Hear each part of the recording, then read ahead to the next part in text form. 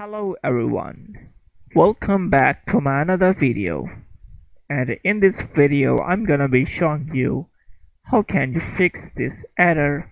Error in keys.txt in line 346 so let's get started. Now click OK. And guys I open Cemu and this error showing again OK and close. The emulator go to your keys open and as you can see guys there are a lot of keys in this text files and I have recently used a new key.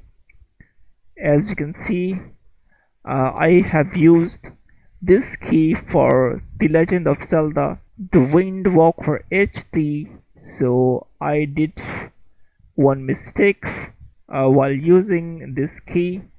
I have correct keys uh, in here.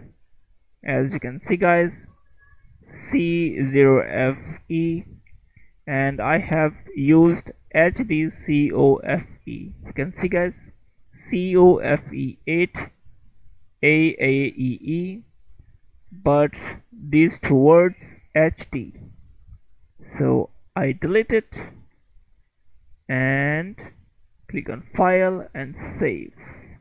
Now close it and open Cemu emulator again. And the error has been fixed guys. Now for example I use this key and I add here one more word like H and click on file and save and I open Cemu again. And this error is showing again guys.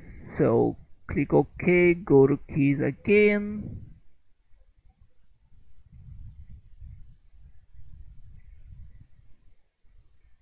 And delete extra words and file and save. Open Cemu and it's done guys. And if you are confused then delete your old keys txt file and use another new key txt file. Here is. Copy it. Go back sorry and paste here. Now open Cemu and it's done guys. The error has been fixed. So hope you like my this video. Thanks for watching guys